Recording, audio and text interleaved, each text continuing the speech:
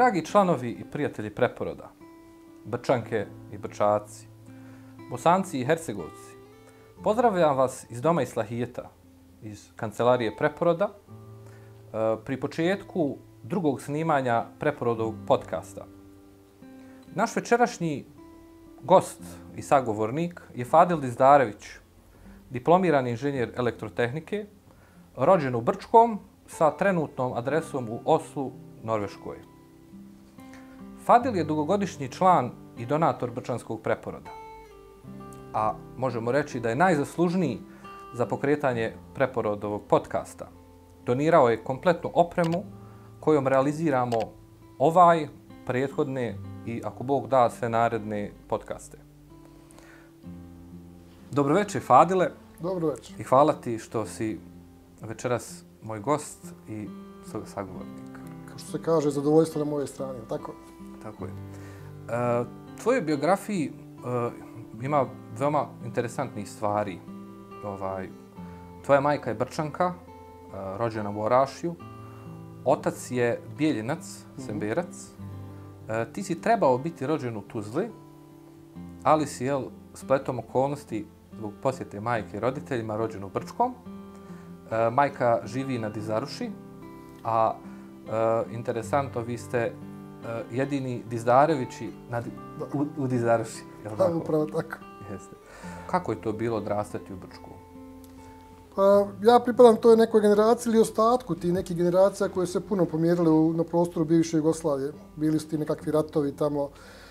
Bilo je to veliko pomjeranje stanovništva iz sela u gradove, u fabrike i tako to. E, mnogi ljudi su se trbuhom za kruhom selili koji kuda i tako dalje.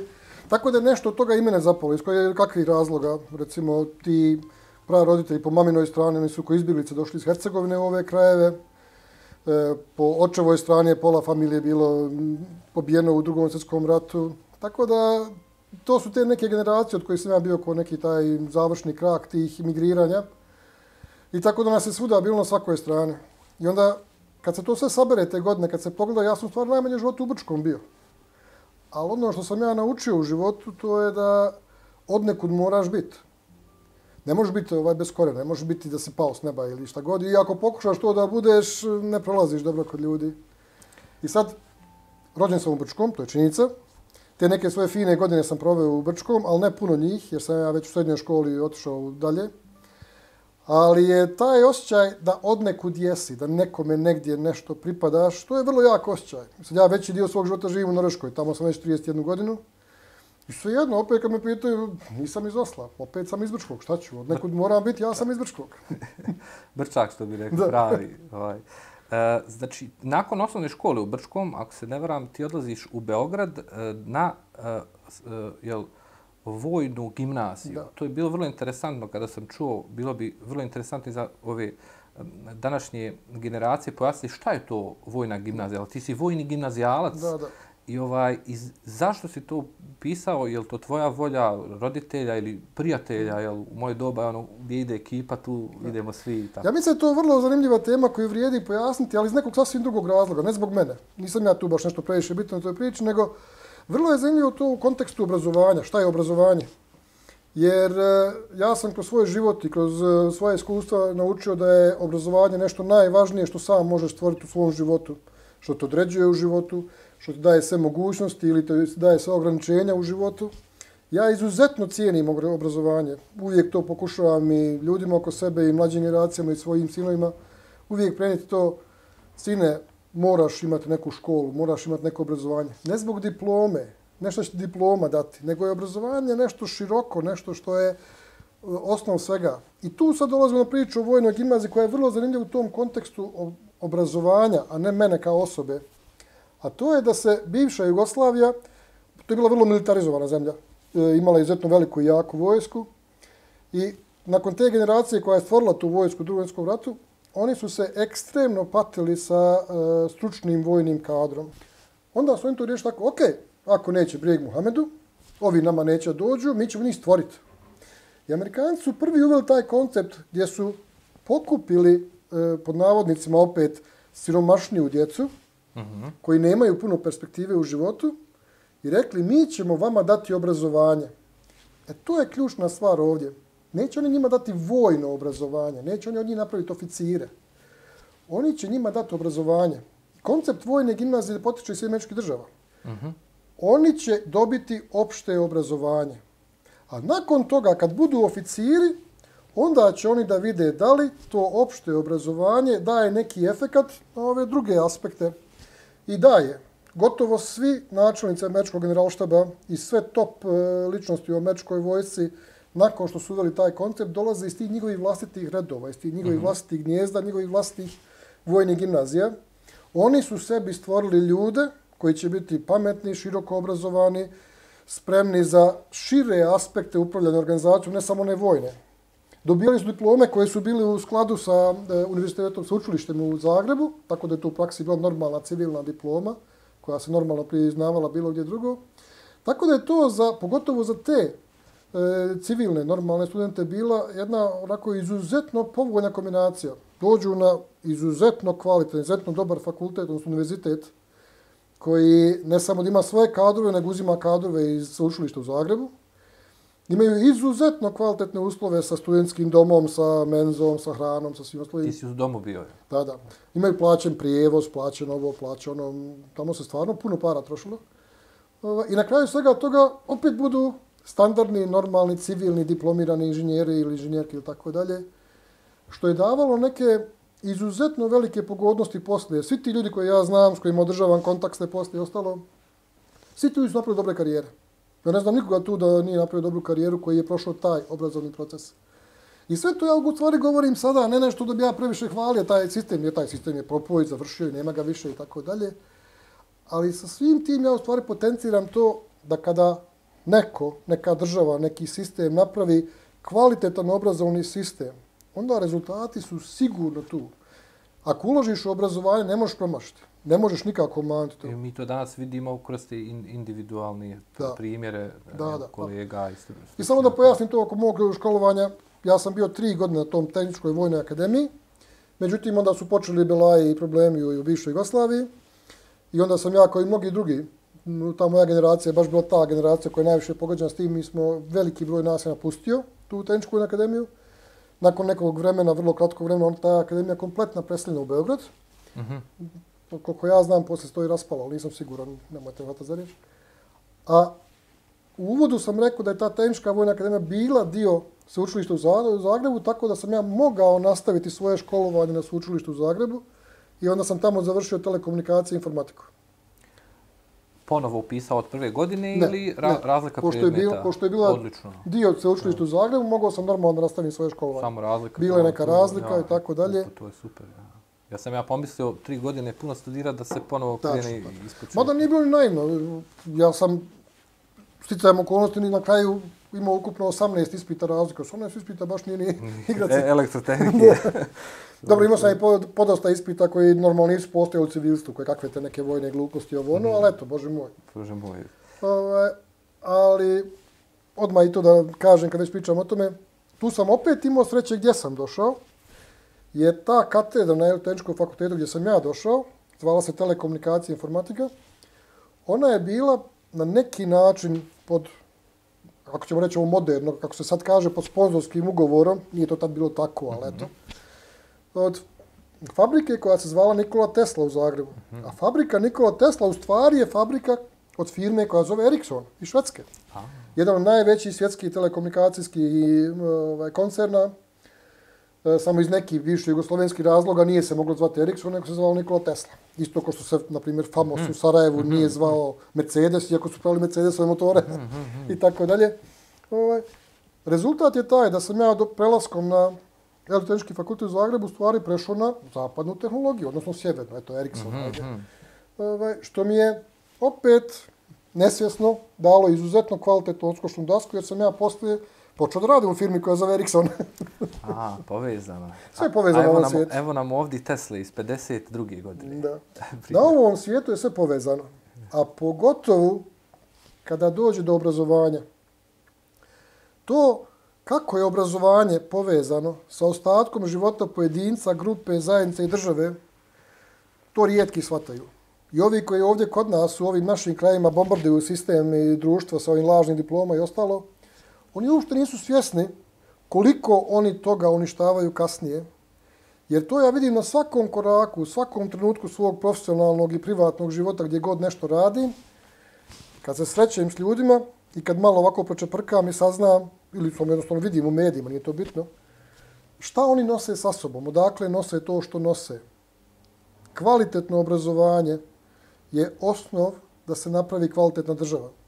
Ko to ne uradi, ko to, da izvinite svi na izrazu, za sebe, ko što mi smo na dobrom putu uradi u mojoj državi, taj neće imati državu. Oko toga mislim, mm, nema stava neke velike da. diskusije. Ili ćeš imati kvalitetno obrazovan kadar na svim nivoima. Ne mora to biti inženjeri i ostalo, neko šta god.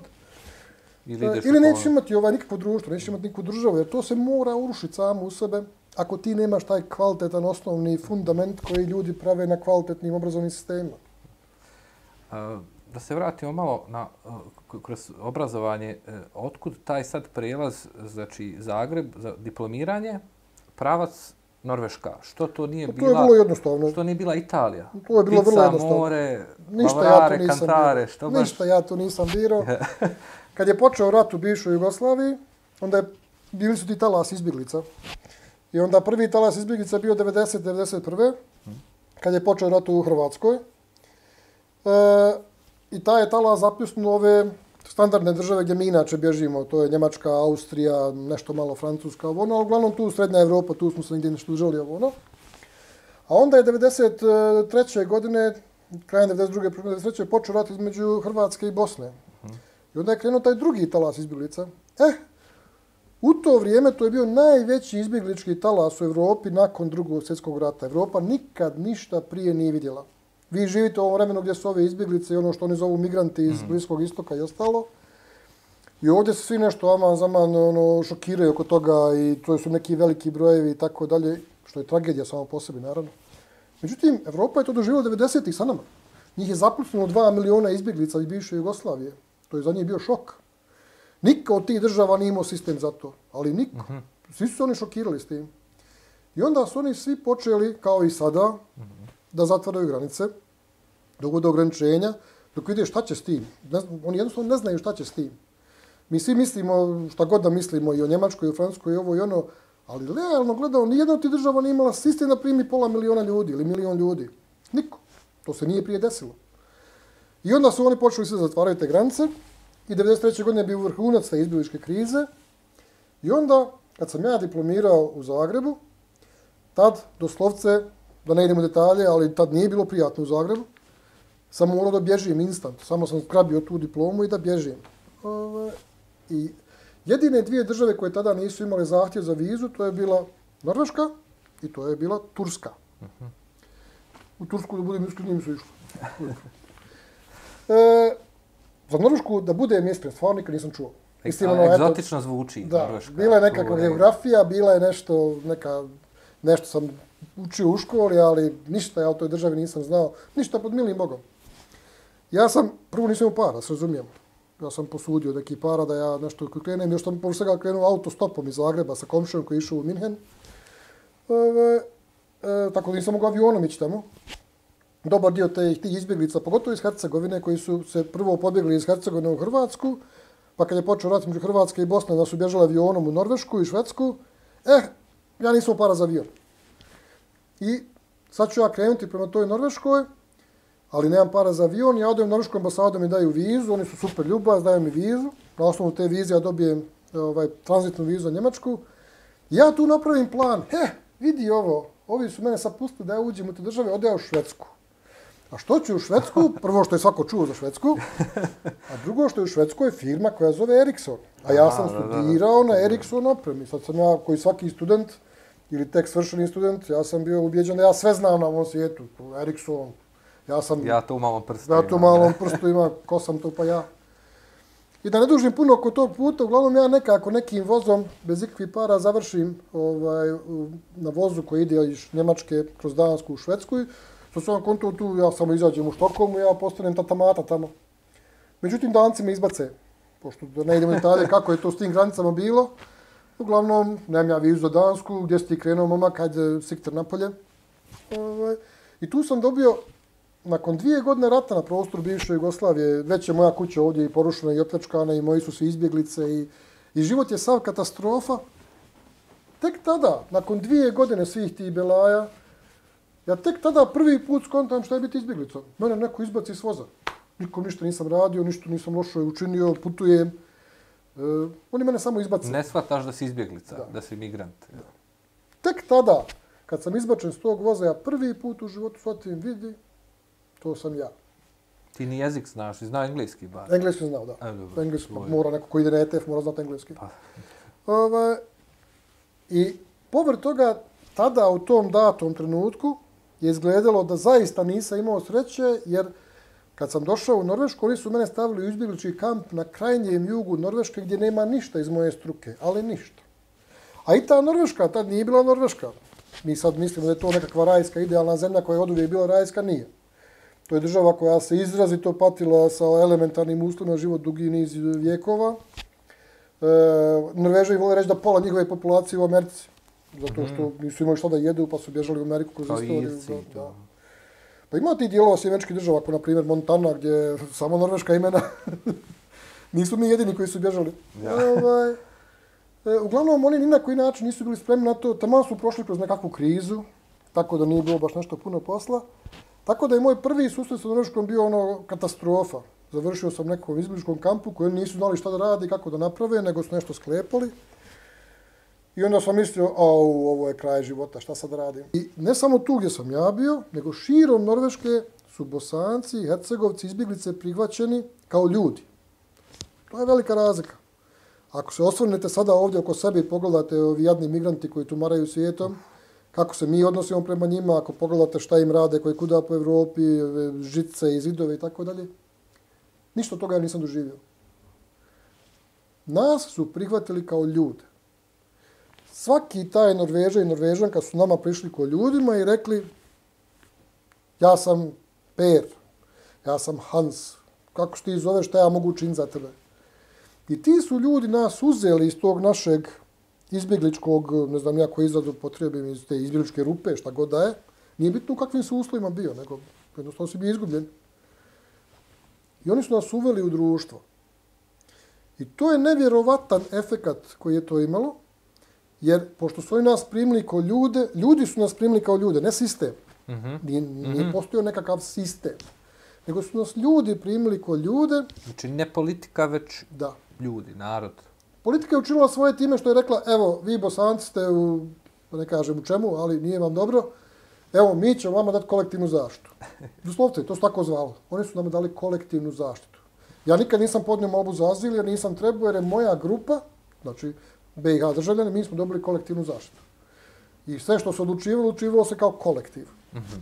Nama smo kolektivu dali prvo kolektivnu zaštitu, znači ono što zove azil, mm -hmm. pa su nam ko grupi dali boravišnu dozvolu i radnu, I na kraju smo kao grupi ponudili državljanstvo. Evo, što god dašte, sve zajedno. Nikad nisam podnio mobu za državljanstvo. Samo došlo državljanstvo. Samo je došlo. Došlo, pa. Mi vidimo da ako samo te sistem prima na bilo koji način, ili da te stavi u konclogor ko u nekim državama, ili da te samo šutne tamo, ko recimo u sjemeničkim državama dobiješ nekakvu vrlo malu početnu pomoć i snađi se, e, da to ne radi tako dobro kao ono kad te ljudi prime, kad neko s tobom hoće da priča, kad neko s tobom hoće da ti u stvari uzmete za ruku i pokaže. Ti biraš da me gledaš kod čovjeka, a ne biraš da me gledaš kroz ono što tamo se vrti na ekranu, e, nekakvi teroristi, vaki, naki, ovo, da. ono. Nekontrolisane grupe. Da. E, I to dolazi samo isključivo od tog ljudskog kontakta, od te ljudske integracije, što budeš dio zajednice kroz zajednicu, a ne kroz nekakav kurs, a ne kroz nekakvu nekakav sistem, nekakvu obuku ili šta ja znam šta. Neko kulturno odvajanje. Da. Kulturno. I onda to je nešto što je vrlo posebno jer e, u ovim prostorima ovdje bivše Jugoslavije većina ljudi ne zna šta su stranci. To što nas e, ovi politički mahnite ubjeđuju da su mi stranci jednim drugima, mislim, to je budolašno, obično. Evo, vas su podijeli ovdje, ja sad ne znam vašu generaciju, se razumijemo. Ali pretpostavljam da vi ni blizu ne znate toliko ljudi iz Srbije, Makedonije, Slovenije, ko što sam ja znao. Šta god. Ne samo to, vas ovdje ubjeđuju da vam je prvi komšija stranac, iz bilo kojeg razloga. A e, mnoge zemlje, počeš od te famozne Njemačke i Austrije, koju svi jako dobro znamo, oni žive sa strancima čitao svoj život. I to pravim strancima. Dođu ljudi iz Somalije, dođu ljudi iz Kanade, dođu Bog te pita odakle dođu. Da. I onda oni imaju neki sasvim drugačiji odnos prema tome, E sad se to i ovdje dešava. Sad, Da. evo, čitamo na primjer da u toj Hrvatskoj nema radne snage, dolaze koji kakvi. I javlja se pomalo rasizam. Da, da. To je ono... Što ja I šta će oni s tim? Kako će oni s tim? Kako će? To je ono što ja pokušavam kažem ovdje. Taj odnos ljudi, u toj Skandinaviji pogotovo, kako su oni primili te ljude kojima je trebala pomoć, to je nešto neopisivo dobro. Me nema ništa mržnje kad neko kaže da su Skandinavci gladni. Ono, ja bih ga odmah vrelom vodom polio. Kome Da, ti da, gladni? Moj prvi da. komšija će me zakolje, onaj tamo koji nikad mi vi vidi, otvori mi kuću, svoj dom, da mi posao, da mi sve živo. Ovaj, ko je tu gladan? Da. Na koji način definišeš da je neko hladan ako mi onaj tamo apsolutno sve u svom životu ponudi isto koji svojoj djeci, koji svoj, eh, svojima. Šta je vrlo, onda to je vrlo hodaš? interesantno. Ovaj. Da, se, da se malo vratimo ovaj na uh, tvoj posao. Koji su tvoje, ako mogu pitati, to je per, persona, uh, ovaj, profesionalno us- usmjerenje? Ja sam imao... Čim se bavio tu, Da, kad si došao, neku variabilnu karijeru. čim se sada baviš? Da, kad sam tek došao tamo, e, moram priznati da nije baš bilo lako u početku, jer kao što rekao, Norveška je baš izašla iz neke krize. Tako da ja neki godinu i pol dana svojih prvih tamo nisam radio u svojoj struci. I onda sam, pošto sam ja bio najbolji Ericsson inženjer na svijetu, Sve imao malo of course prste, not, of course not, ali eto, ja sam mislio da sam nešto znao. Dobio sam posao u firmi u Ericsson, e, jer na tom zagrebačkom sveučilištu gdje sam ja studirao, oni su imali jako puno hands-on work, baš sa tom opremom. Mhm. I to je bila telekomunikacijska oprema, svijet telekomunikacija. To danas više ne postoji, ali e, nekad je svijet kako se priča u telefon i svijet kako se komunicira digitalno, to je bilo dva svijeta odvojena. Mhm. Telefon nekad nije bio, mobilni telefon nije bio internet, nego je telefon stojao na stolu i pričao se. E to sam ja radio. Telekomunikacije, ja sam se bavio sa telefonskim centralama i kroz njih i također sa mobilnom telefonom, to sam radio pet godina. I to je bio super, za jednog inženjera to je bio super zanimljiv posao. Na koji način ne mogu se ni žaliti, ni, niti bilo To šta. je posao iz snova studentski. Da, da, da. Studentski snovi, ono, preksno. Tu sam vidio svijeta puno. Pošto Ericsson je međunarodna firma, onda su oni meni slali koje kuda ovaj, da radim. Lupa. Ovaj, a hvala Bogu, ta sam se tek etablirao, žena, djeca, treba mi para, pa sam ja vrlo rado putovao. Tako da, formalno pravno to je bilo za preporučiti. Jesi li mladi inženjer, dobiješ posao u velikoj međunarodnoj firmi, vrlo uspješnoj firmi, raj na zemlji. Sve divno, sve krasno. Međutim, u tom procesu tog razvoja u toj firmi, oni nama jedan dan kažu, eh, vi, na mom jeziku, mi smo nekad govorili telci, oni koji se bave telekomunikacijama, mm -hmm. telci. E sad vi telci, te vaše velike kutije što su u podrumu te telefonske centrale, to su stvarno bile fizički velike kutije, mm -hmm. to su bile ozbiljno velike kutije. Te vaše velike kutije idu u istoriju, čitava telefonija ide na internet, na IP. I mi, bilo je tu inženjera koji su puno stariji od mene, ja sam tek bio 30. Bilo je ljutnje. Da.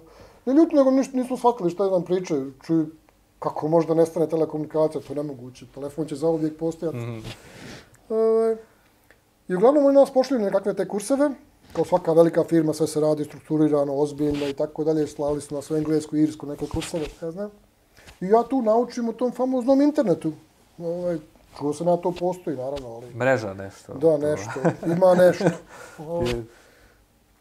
I oni tu, u mom konkretnom slučaju, naprave potpuno suprotno nešto kad ja skontam, au, ovo će sve da propadne. Ovo će sve da crkne. Šta ja sad radim s ovim? E, I tu i tako na tom kursu gdje su oni mene htjeli da obuče za budućnost, ja sam rekao, ta vaša budućnost je sumnjiva. Odeo tu vašu budućnost, ali bez vas.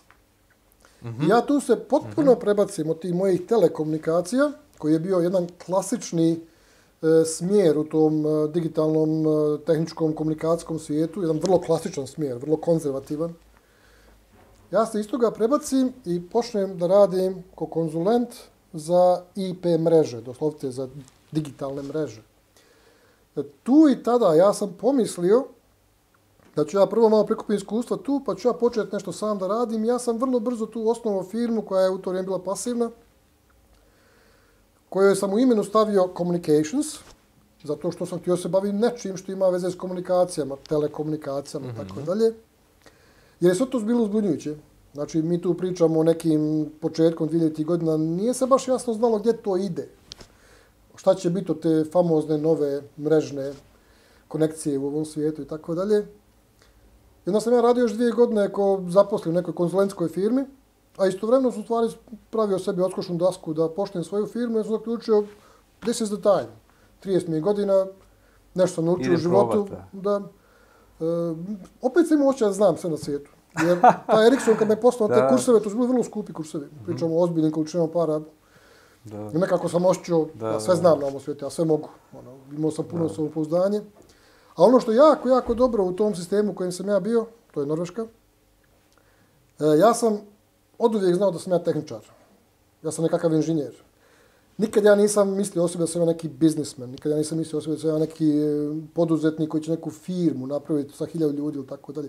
Ali sam znao da sam tehničar, to sam uvijek znao. E taj sistem tamo jako ohrabruje ljude da nešto urade sa sobom. Čitav taj sistem, obrazovni sistem, poslovni sistem, šta god, te ohrabruje. Non stop te nešto ohrabruje. Evo recimo taj. Ericsson, u taj Ericsson što me poslao na te kurseve, nisu oni meni dali uslov, e sad ti moraš raditi za na 10 godina. Nego su mi rekli, hajde ti napravi nešto od sebe. Možda budeš sama, možda ne budeš.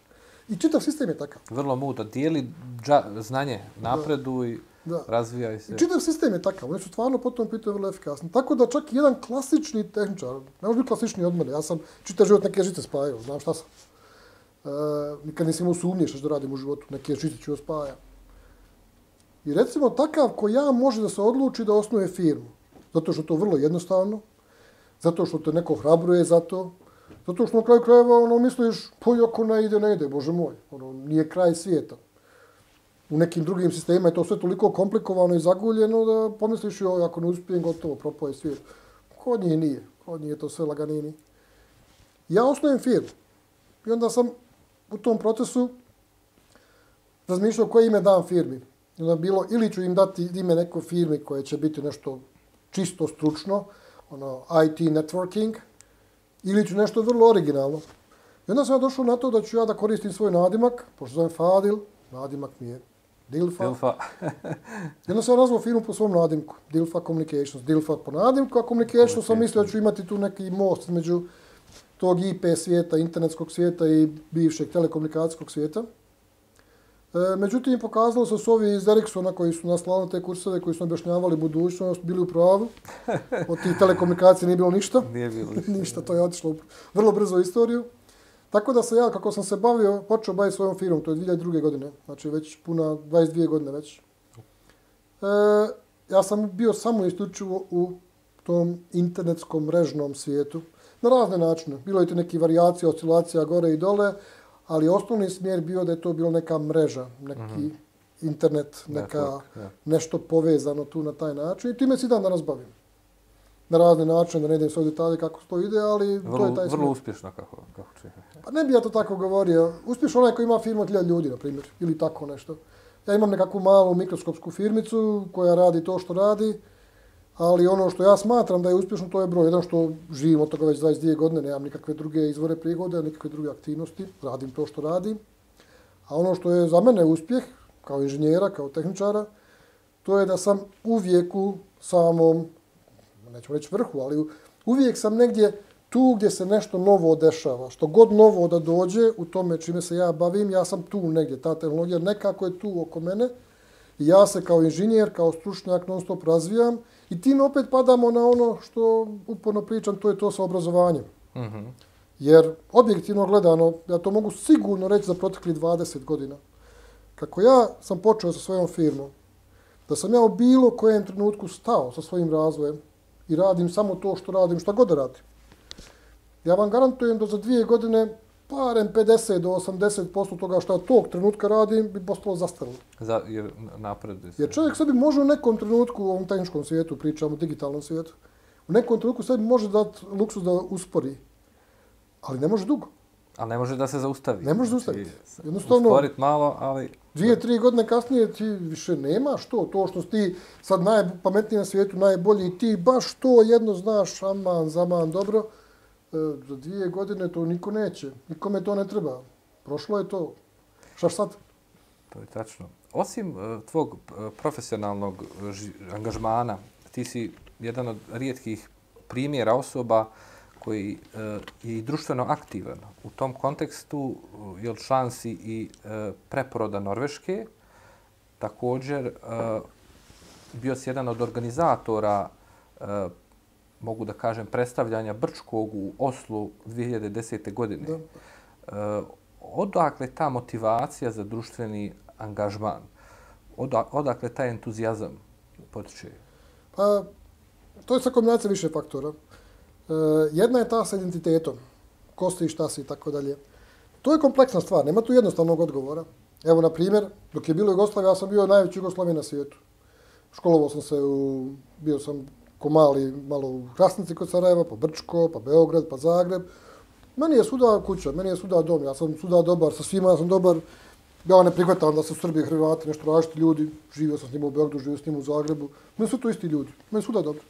Znači, tu i tad, u tom okruženju, u tom sistemu, sam bio Jugosloven. Pa se Jugoslavija raspala, e, neko je postao nešto drugo, a neko je ostao ono što jeste. Od nekud sam došao, od nekud sam ponikao. Čitav svoj život sam bio bosanac. Dok sam bio, samo pričam pozitivan način, ovo što sam mhm. pričam nije nikakva ni podjela, ni, ni razdvajanje. Dok sam bio u Beogradu, bio sam bosanac. Dok sam bio u Zagrebu, bio sam bosanac. Nikome to nije smetalo, ni onima ovaj, s kojima se družu, niti meni samom. Nisam mislio o tome. Onako, najiskrenije, nisam nešto mislio o tome što sam ja bosanac, nego sam bosanac, bože moj, dolazi iz Bosne, šta ću biti nego bosanac? Ovaj, I onda završim kao izbjeglica u Norveškoj. Ti skandinavci imaju izuzetno razvijen identitet. Pričamo izuzetno.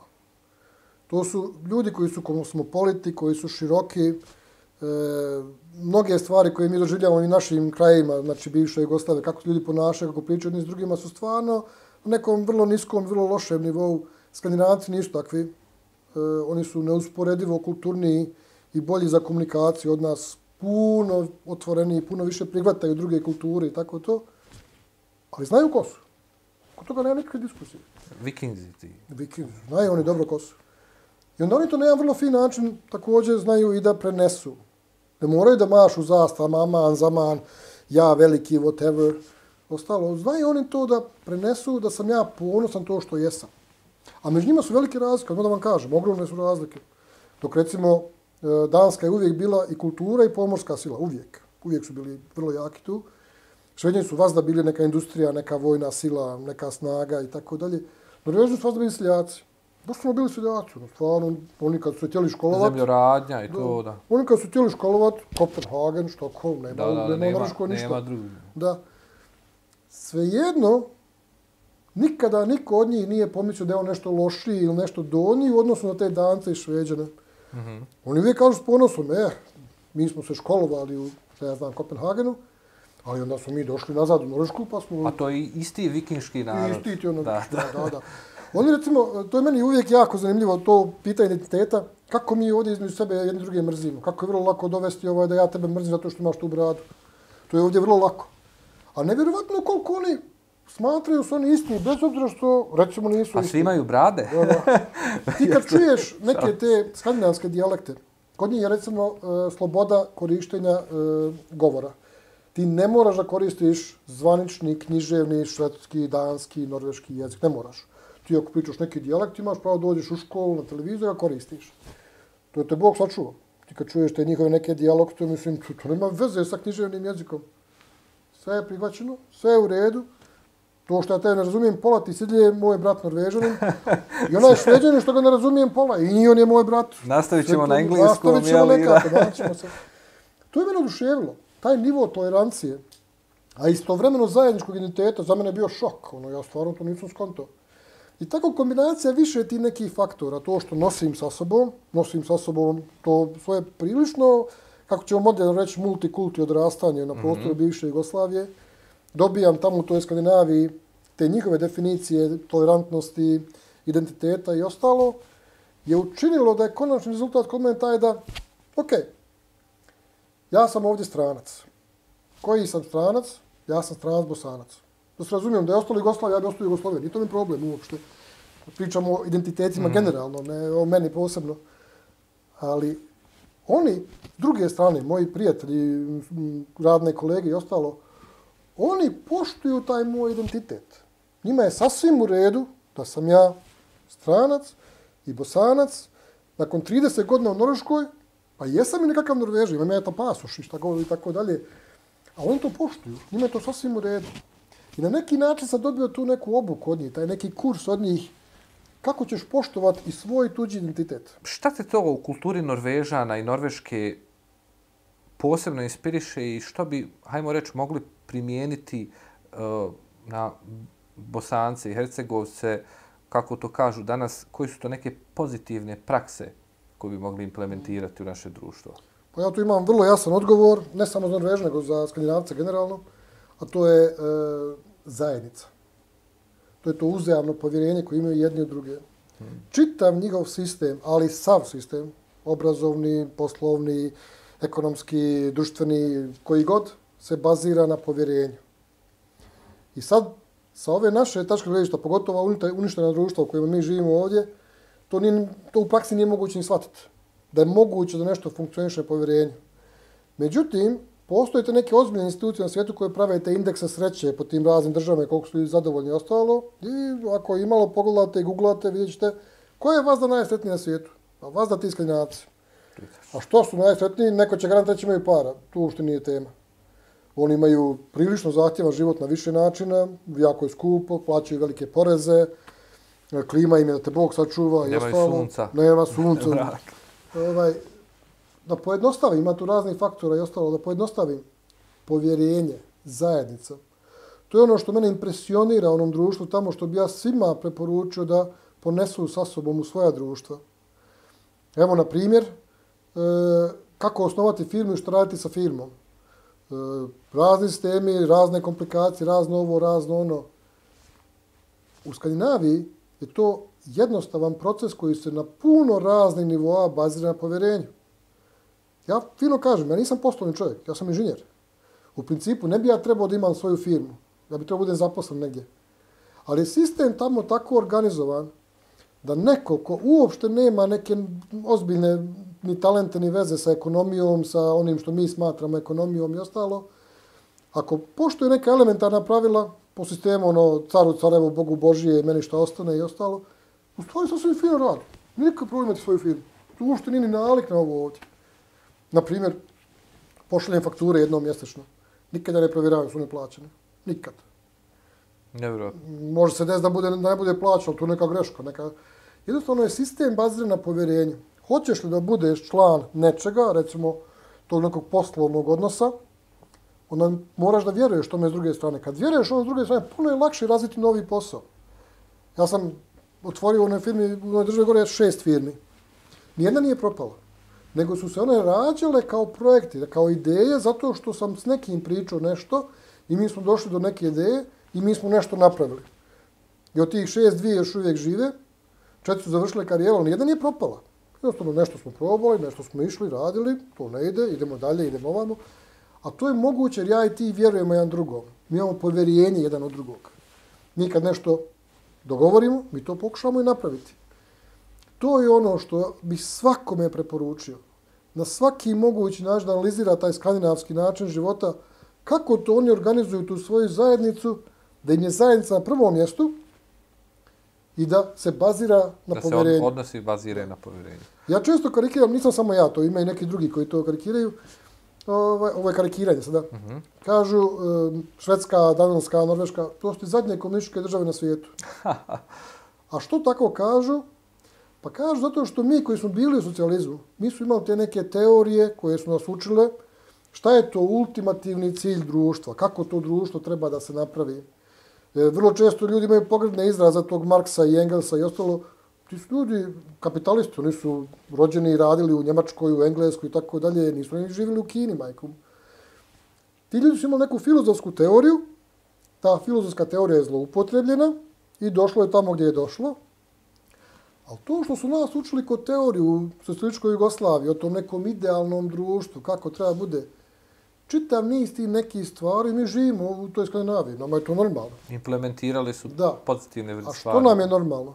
Ne zato što neko došao s nekom šibom u Sovjetskom savezu ili u Kini ili gdje god i udarao komunizam u te ljude, nego upravo obrnuto što su oni uzeli svoju tradiciju, a to je ta neka plemenska tradicija, to je ta neka tradicija zajednice, I onda su tu tradiciju klopili u moderni život gdje ja pazim na tebe, ti paziš na njega, onda ultimativno i on pazi na mene, jer svako na svakoga pazi, ne mislim u onom kontrolnom smislu, Da, da, da, već. nego u onom finom smislu, da ja pazim da tebi bude dobro, da mi budemo neka zajednica, ja vjerujem tebi, ti vjeruješ njemu, na kraju će onda onda dođe da vjeruje meni, jer svako svakom vjeruje. I to je nešto što daje fantastične rezultate. Sve statistike po tom pitanju daju jako, jako jasne odgovore. Evo, tipičan primjer, zatvorski i kazneni sistem. Odakle mi živ, dolazimo, kako mi živimo, postoji samo jedan način ovaj, da se e, radi sa kriminalcima, ljudima koji prekršaju zakon, to je kazna. Što surovije, to bolje. Ideal je Sibir, treba svakoga u Sibir poslati. Ljudi su Amerikanci, isto tako misle, te Bog sačuva. Električna stolica. Da, da. Međutim, ako vi pogledate te statistike koje na sve strane možete naći, Google sve zna, ko ima najbolji procenat kriminalaca koji se vrate u normalan život? Skandinavci. Što? Pa drugačije razmišljaju. Pokušavaju malo da pričaju s tim ljudima, pokušavaju da im daju malo povjerenja, pokušavaju da, Da angažuju stručnjake, da pokušavaju da urade nešto što će se bazirati na povjerenju. I vjerovali ili ne, pogledajte malo te statističke podatke, pogledajte dokumentarac od Michael Moora. Uh -huh. To daje spektakularno dobre rezultate. To je čudo jedno kako to u stvari ultimativno u širokom nekom polju, kad ti pogledaš sve zajedno, kako to daje dobre rezultate. Zajednica, povjerenje. To su dvije poruke za, Da, za. BiH građane. E, pitao bi te ovaj, još jedno, dva pitanja. E, često dolaziš u Brčko ovaj, i e, radi si gost e, kao neko ko povre, dolazi kontinuitetu. E, šta vidiš u Brčkom, e, kako ti Brčko izgleda, da te najprostije pitam? Pa, ono što je očigledno, to je to materijalno, ono, nećemo reći blagostanje, ali ti materijalni i vidljivi efekti su više nego očigledni. E, mislim, koliko tu ima kuća i kućarina i automobila i ostalo, ja ne znam šta vi mislite o sebi, o svom okruženju, o svoj, ali ja znam Norvežane koji su vidjeli puno svijeta, puno loših dijelova svijeta i koje sam ja doveo ovdje u ovu Bosnu i ovo Brčko. E, njima ovo ne izgleda kao ratno područje, niko siromašna država. Kad ja nekom, ja sam tu doveo priličan broj Norvežana kod svoje goste, mm -hmm. niko od njih nije pomislio da je Bosna siromašna država. Ne, ne, ne. Tako da, taj materijalni dio je, ja ne znam šta vi mislite o tome, vrlo često čujem da bosanci kažu siromašni i tako dalje. Strancima to ne izgleda tako. Evo, ja ću reći da sam ja stranac. Bez obzira koliko puta dolazim. E, tako je, da. E, nama nikako ne izgleda da je Bosna siromašna država. Samo ne, neuređeno u tom nekom možda E, administrativnom... sad je to drugi problem što ja aspektu. Bosnu znam iznutra. Što ja idem i u opštinu, što ja sredim ovaj i onaj papir i što ja komuniciram s ljudima. Nažalost, tu već moramo reći da tu ima ozbiljnih izazova na sto i jedan način. Ali ti materijalni, te materijalni impuls, te materijalne slike i taj ono first impression ovaj, u stvari je potpuno drugačije ono kako vi sebe predstavljate. Kogod kaže da je Bosna siromašna i onda ode u bilo gdje i dovede sa sobom prijatelja ovdje, aj, neće to reći. Mislim, halo, probajte parkirati u Brčkom. Da može biti siromašna država ako nemaš gdje parkirati, a sve su dobra auta. Tako je. Ili recimo kuće. Norveška je ekstremno bogata država. Imamo, Bog te pita, 1000 milijardi eura na računu, ko zna koliko imamo. Imamo neopisive količine para. U Norveškoj niko nema kuću od 400 kvadrata. Ali niko. Mislim, Nema- najbogatiji čovjek u Norveškoj nema kuću od 400 kvadrata. Ne može priuštiti ili je filozofija, način razmišljanja? Nego Niko ne konta šta će mu kuća od 400 kvadrata. Ti kad kreneš od e, Rače, od granice, prema Brčkom, pogledajte malo lijevo i desno koliko ima onih gromada od onih zidova, onih kućerina. Mislim, tu nema ništa ispod 300 kvadrata. Mislim, to je tamo dakle ja dolazim nepojmljivo. Tu niko ne konta ovaj, da to, čemu to služi, je li to hotel, šta je to? Pa ne ozbiljno kažem, ja znam ljude koji su stvarno dobrostojeći tamo, izuzetno dobrostojeći. Niko od njih ne živi u 200 kvadrata po osobi, to samo ovdje ima, to nema nigdje drugo. Tačno. Znači, taj vizualni efekat je totalno u raskoraku s onim što bosanci pričaju o sebi. Totalno. To, to nema veze jedno s drugim. I onda, jednostavno, ja bih savjetio ljudima presno gore su siromašni. Ko je bolan siromašan? Jednostavno, nemoj to da pričaš. Siromašan je jednik što nema šta da jede tamo u Gazi ili gdje god. Da, da. Kakvo sirotinja, mislim, ovdje je neka sasvim druga priča. E sad ovi drugi problemi koje ja sticajem okolnosti znam, pošto sam s unutrašnje strane, to je već neka druga i kompleksnija tema koja nije dobra. To stvarno, to je stvarno ozbiljan problem. Ovaj, najveći je problem taj što mi, mnogi od nas, ne shvatamo državu kao državu. Ne shvatamo državu kao dvosmjerni proces. Ja nešto dam državi, država nešto dam meni. Kad kažem država, to je ono neki univerzalni opšti Da. pojam. I distrikt Brčko, i mjesna zajednica, i šta god. To nije baš kako treba kod nas. I da te pitam za kraj još jedno pitanje. Ovaj, e, pratiš rad preporoda? Ovaj, kako to izgleda sa sjevera? Pa to izgleda fenomenalno, to vam moram reći. Ovaj, ima i razloga što ja, na primjer, pomognem nešto malo sitno s ovim tehničkim stvarima i to, zato što vidim rezultat. A ovaj rezultat ovdje kod vas je neusporediv sa mnogim drugim aktivnostima u Bosni u kojima sam ja bio na ovaj ili na onaj način umješan. Tipično je za ove prostore, ne samo za Bosnu, za čitave prostore ovdje, tipično se traži neka pomoć. Kad se traži pomoć, podrazumijeva su to neke pare. E, tipično je također kad čovjek da tu pomoć, ili organizacija ili što god, da, da nije zadovoljan s onim što vidi šta bude od toga. Ili nekako djeluje, da ne idem uopšte u konkretne primjere, ali ili da djeluje nekako da, da se nije to iskoristilo za ono što treba da se iskoristi, ili djeluje ko da od toga nema ništa, šta god da je, nije uopšte bitno koja je to oblast. Nema Mi neki kontinuitet. Da, nema da, ne, to- upravo o- tako. Opet što bi rekli stranci, održivost. Da, upravo tako. E, ono što je kod vas ovaj, impresivno, to je što vi stalno pokazujete da to što god čovjek u vas uloži, jel to da vam uloži dobru riječ, ili vam da nekakvu tehničku podršku, tako da je, daje neki rezultat. Nešto se od toga desi, bude sljedeći korak, korak bude sljedeći projekat, bude nešto se proširi i tako dalje. I ono što sam ja više puta pokazao, rekao da je sve povezano. Nema tu sad da sad ću ja samo isključivo podržim onoga koji ovdje pravi ovaj drveni dio ove sofije, ovaj što pravi ovaj platni dio, on me ne interesuje. Sve je povezano.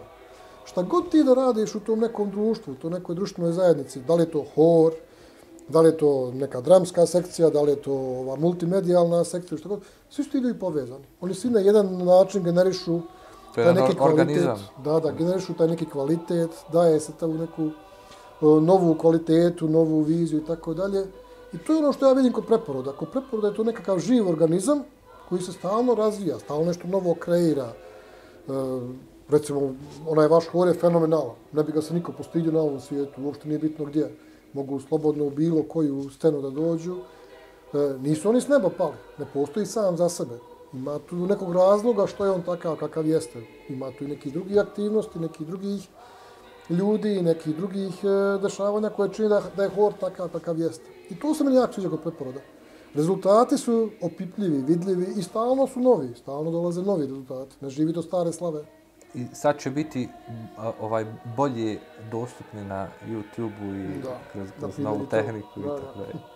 Ništa, želim ti se zahvaliti ovaj, na, još jednom na gostovanju i što, jel što si bio naš e, gost večeras i Hvala vama što ste me pozvali. Puno uspjeha i sreće u daljem radu vam želim. I nadam se da ćemo se opet vidjeti u Oslu. pa, Bog da. Se, hvala. Umro stari pjesnik, umrla Emina, ostala je pusta bašća od Jasmina. Amen.